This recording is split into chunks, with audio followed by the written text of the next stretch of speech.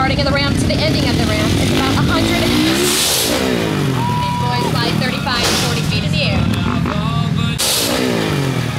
Going for a crunch there. Here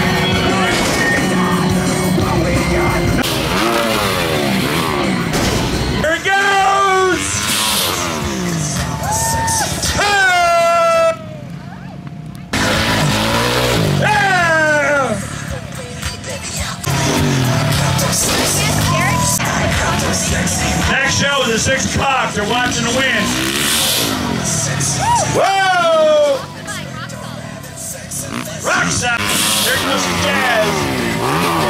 What's that?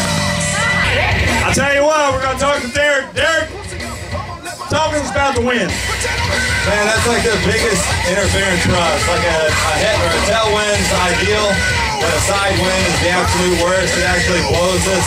Like I can jump the ramp straight, and by the time I land, I'm on the side of the landing, or it'll blow your wheels out from under you. It's just really hard to predict what it's going to do and compensate for or something. You know, like when it's at your back, you can kind of go slower because you know it's going to push you. But uh, when it's straight at the side, I mean, there's no control over it. It'll blow your wheels out. When I was in Thailand a couple years ago, I actually got blown off a metal landing because a gust of wind came up from the side and blew me off. I landed on the street, had to go to the hospital. So, uh, you know, I'm not just, I mean, I'm being cautious because I've thrown caution into the wind, literally, and that's what happens. You get, you know, rewarded with injury.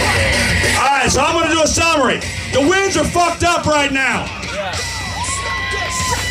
We're watching these tapes, is that right? And the flag and the tapes to see which way the wind's going. But if the wind is right, when one of the shows is scheduled, we're looking at signature flips. Yeah, yeah, for sure, man. Uh, I love doing backflips, so uh, as soon as the wind cooperates, either today or tomorrow, definitely gonna see a flip out of me. And, you know, it's something fun to do, and uh, it's just Mother Nature's a bitch.